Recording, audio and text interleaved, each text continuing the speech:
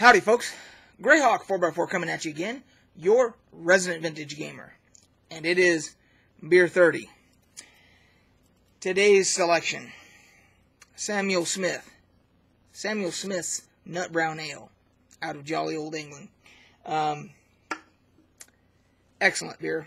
Um, cheers.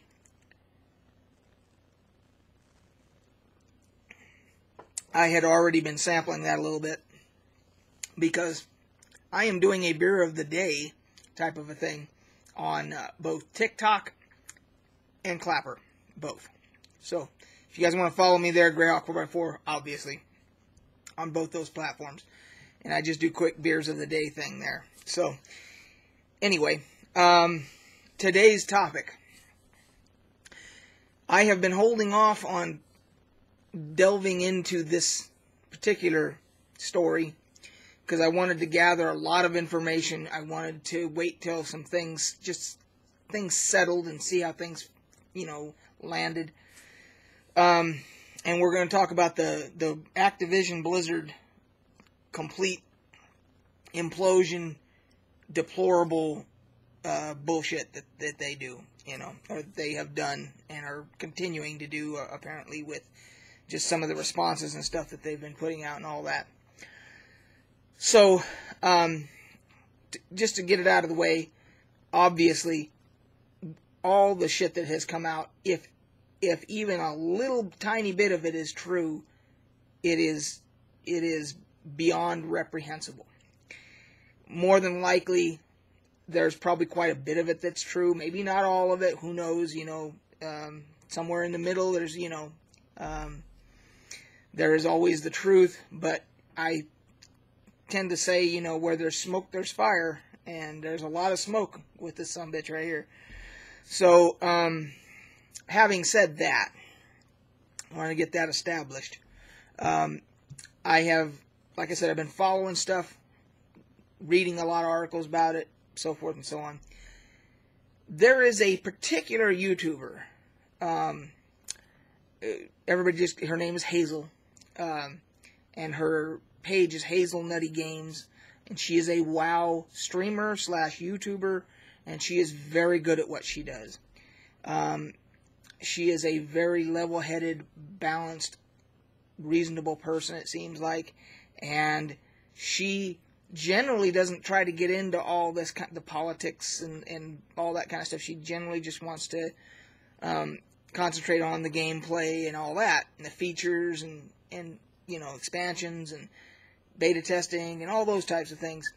But she did weigh in on this, of course, as everybody has.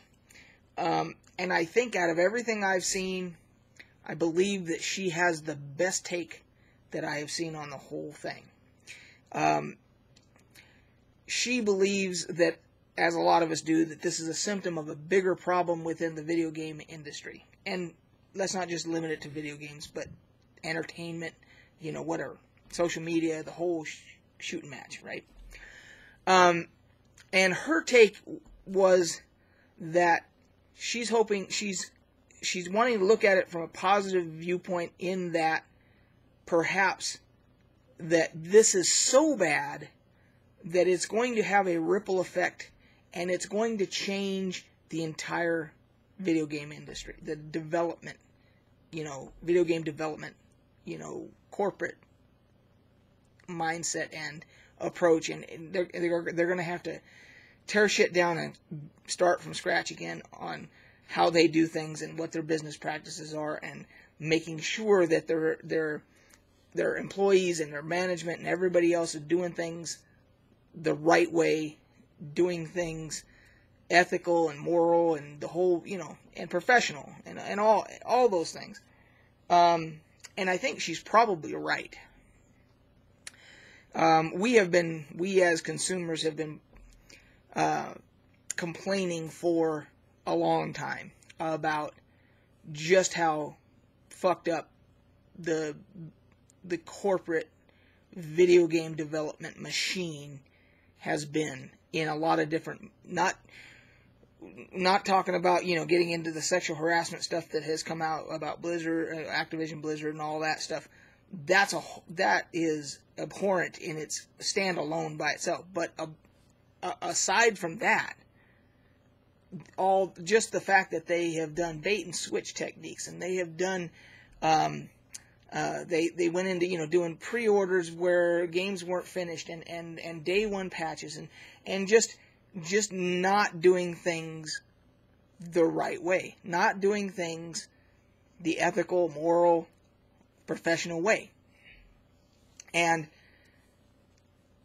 what we're seeing now is that with this latest Activision Blizzard situation, is that the employees have it's with their walkout and everything else.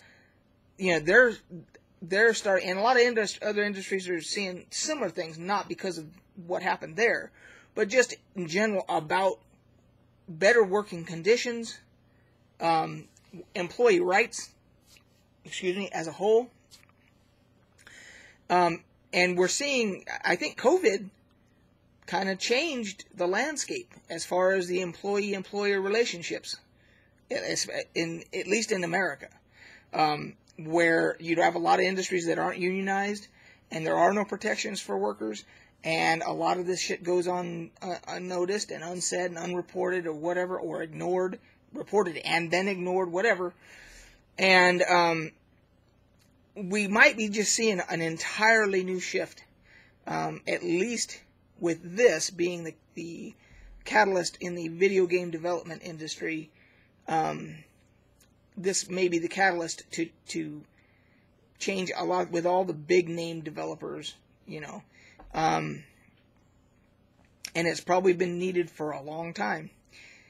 So what we can hope is that maybe these indie developers that um, have been putting out really good games. Um, I mean, I, I always say, you know, I've got over 600 games on my Steam account. A lot of those are indie titles, and and granted, I haven't played a lot of them. I buy them when they're really cheap on sale or whatever, and I need to get to them, and of course, I don't have time. I'm getting ready to retire, so that could change. Um, and uh, perhaps, maybe, a lot of other people are going to just start saying, "Hey, let, let's let's just give these indie people a shot and forget about the Activision Blizzards and Bethesdas and all this, you know, uh, Ubisoft and you know the, the, names go on and on, you know. Um, maybe this is it. Maybe this is the tipping point, you know, to where finally shit's going to get done. And maybe some of the big the big developers and big names aren't going to survive it okay, I'm all right with that. If Activision Blizzard crash and burns and they literally disappear, I'm okay with that at this point. I'm I'm perfectly fine with that. There are tons of other games and other developers to indie developers to support and everything. There's there's plenty of out of content out there for all of us. So you know, going back to Hazel, uh, and I'm going to put a link down below just in case you don't remember her name or what. I'll put a link to her channel. Um, and uh, I hope that's I hope that's what happens out of this. I hope that those that that committed any of the bullshit that has been alleged and it it's turns out to be true or whatever, they get they get whether it's prosecuted or uh, you know through um, uh, counseling, whatever it is that, that needs to be take place um, to the full extent of the law of employee relations, whether it's fight termination and and you know whatever. Termination plus you know getting getting getting charged in, in criminal court if it's a criminal offense, um, and then if there's civil uh, shit that's going to come out of this, which they're, this obviously, I mean, the state is already suing them, you know, but I'm saying if any of the individual people harmed decide to sue, well, I hope they get whatever they have coming, you know, and um, I'm just, I'm just done with, you know, all these big name corporations. I mean, look at me personally. I, my history is I was in the corporate world for years. Um, I was in the corporate security world, and um, I saw I saw buyouts and mergers and and all this, and people literally people were just numbers.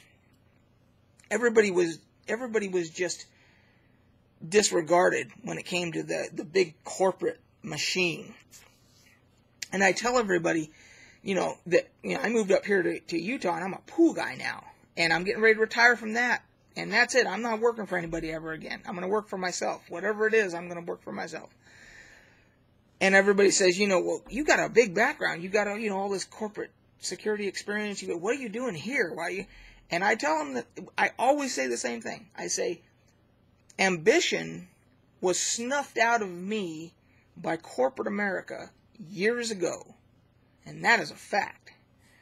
I used to have ambition. When I was younger, I had ambitions to do, you know, I'm going to do this and do that, and I'm going to climb up there. And, and then I saw what the corporate fucking structure was and how they treated people and how I, and, and, and I knew I couldn't, I couldn't succeed in that because it would have meant that I would have had to become one of those people that treated people like numbers and not as people.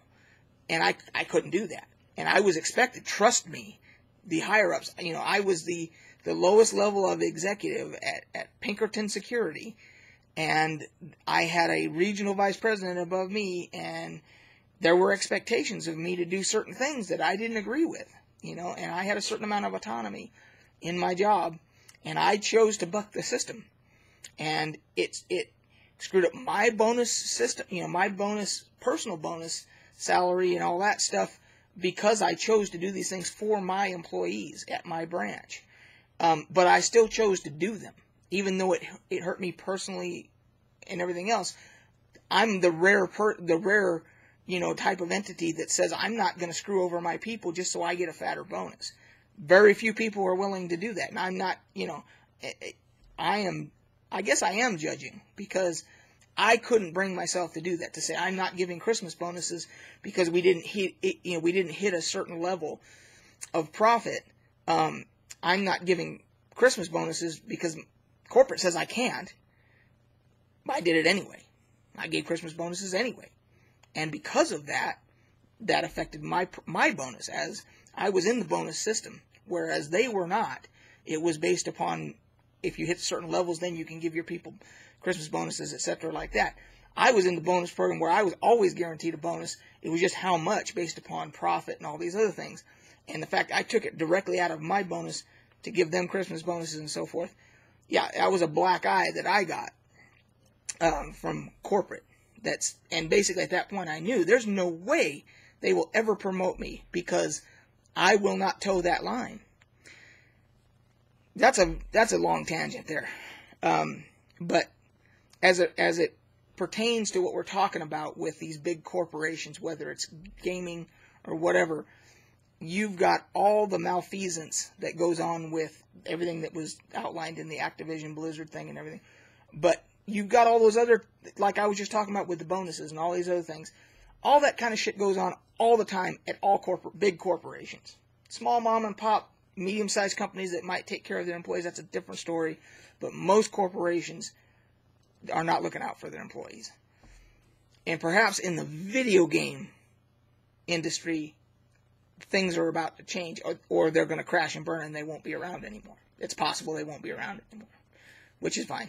So, um, anyway, that's a very long um, way of saying, yeah, I agree with what Hazel said. If you want to go watch her video about it, and those are my thoughts about it. Let me know what you guys think. Um, I have a couple of subscribers here on YouTube that have voiced things to me on other platforms, so I know their feelings. But if you want to, you you know who you are. If you want to comment down here, that would be fine as well. I look forward to it. So, thanks, guys. Catch you on the flip side. Cheers.